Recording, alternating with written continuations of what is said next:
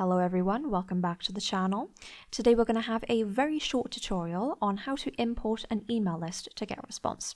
Before the tutorial starts, I'd just like to say that there is a link to a free trial of GetResponse in the description below. So if you just scroll down to the description and click that link, it'll take you to a completely free trial of GetResponse that you can try. But now with that said, let's move on with the tutorial. So the first thing you want to do is go to contacts and this will bring us to all of our contacts lists. But to actually add the contacts to those lists, we need to click add contacts. So firstly, we need to click the list that we want to add to. So we're just going to do tutorial for today. Now you can either add your contacts one by one manually or the very faster option is to upload a file. Now, to upload a file, you're most likely going to need to do it as a CSV file.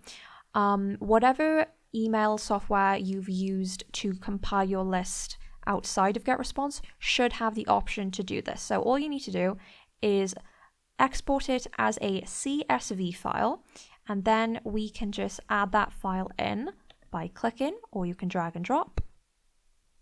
So here's my list. So I'm just going to add this in. And there we go, we've got our contact list. Now, if you scroll down, you'll have a couple more options.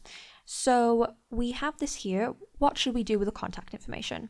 So I would recommend just adding only add new, just because that's probably going to be the best for you right now.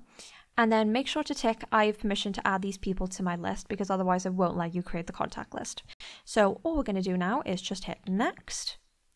And there we go, it's created a list for us. Um, so that is our tutorial. I hope you liked it. Um, if you did, feel free to give the video a like and subscribe to the channel for more videos like these.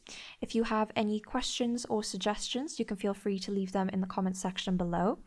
And as I said, there is a um, link down below in the description to a free trial of GetResponse. So if you click that link, um, it'll take you to a free trial that is completely free.